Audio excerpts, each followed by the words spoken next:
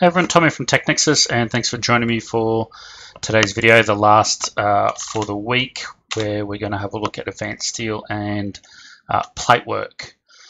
Now, just some of the other features that we have with plate, and I'll just draw up a piece here. So if you go to the advanced tool palette, and then down the bottom there's a thing called features.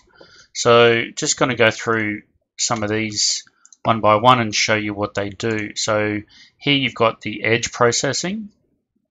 You can see we've got straight, concave, or convex. So I guess if you need to to you know put some some smooth edges around your plate, then you've got uh, this function here to use.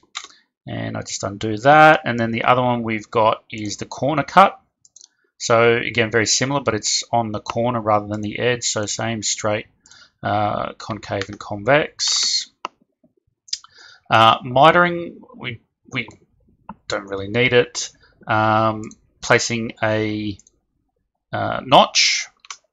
So there's the shape there. So this is particularly handy for maybe something like uh, putting um, a handrail mount maybe you've got plate on the ground uh, or on a platform, then you can use this function to, to cut out uh, some holes in there for you.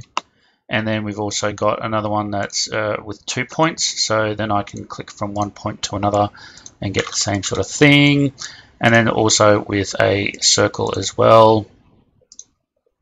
Okay. And then we've got, uh, there's a polygon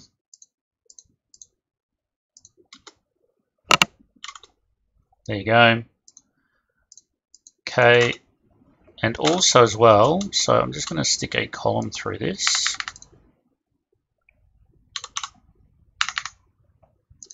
And do mid between two points, between there and there.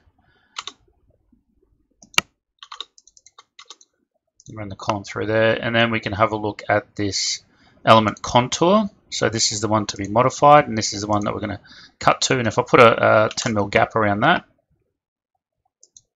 then you can see it's produced a cutout uh, for that. And then just to show you what that's going to look like on a sheet, I'm just going to give that a number and then come back over here and do a single part drawing process.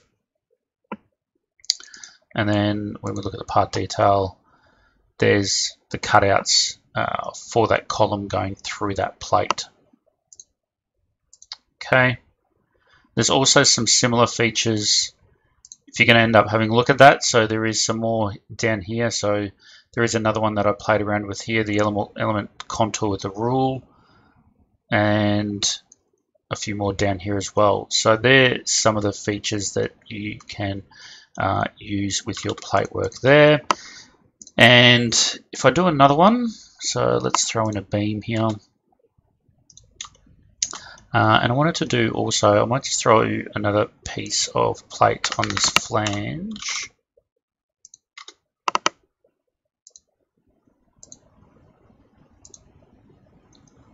And positioning to the bottom. So I just wanted to look at the bolting for this as well. So if I switch to uh, bolts and then bolt these two together. So that's not obviously not going to work. Two, and then do six, and then do 25 by 25. Let's make that 35. Okay, and there's also the hole definition. So with that beam, we can go through and do uh, a slotted hole. So if I look from underneath now as well, and you can see there's slots in it. And then if I double click on this as well, advanced properties, hole definition. So you get here the list of what you're editing and you can see it's highlighted in red. So if I switch to the plate, then the plate is highlighted and then I can do a slotted hole. So the hole tolerance, let's go, um, let's make it 4 mil. and do uh, 35 and you can see here that we're modifying the slots um, for that hole there as well. So there is also uh, inverted. So you can see here we can flip around um, the, the bolt and the nuts as well if you need to. Uh, out on site, site drill or, or, shop as well. If you want to change the grip increase, if we change that to 50 mil, you can see we can adjust that there as well. And we've also got this button or this option here to finish the calculation at gap. So um, it will have the option there to, to go through the whole length. So that might come in handy, I guess, if maybe if you've got two plates underneath there, you want to use the one bolt. Again, certain circumstances might mean that you might need that as well. If I change that back to zero, and then turn that on and off again, then you can see again, we, we just get the, the normal length finishing there as well. So again, have a look at these, these options if you're doing plate work with the bolts against beams. Uh, you do have a fair bit of uh, functionality and options in there as well. Um, there was just another one as well. This comes up if if you're, I don't know, maybe you're reusing the bolts, you've modeled in the existing bolts, you can turn the option off for the numbering for them so they won't be numbered.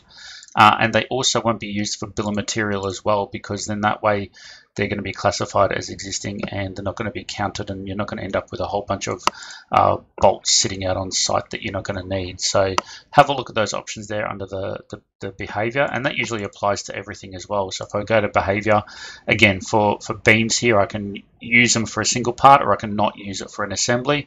Uh, this obviously hasn't been made into an assembly yet so we don't have that option there as well. So a lot of uh, toys to play with with advanced steel and plates and beams and bolts and all that kind of thing. So if you've got any comments, please uh, put them down there uh, in the comment section below and I'll endeavor to answer them or even make another YouTube video of it. And uh, hopefully uh, you're getting a little bit out of these videos for the week. So thanks for watching. Thumbs up if you liked the video, thumbs down if you didn't. Please do subscribe to the channel and click on the bell icon for daily notifications of all of my videos. And I will see you next week for some more Autodesk uh, toys and goodies and hope you have a good weekend. See ya.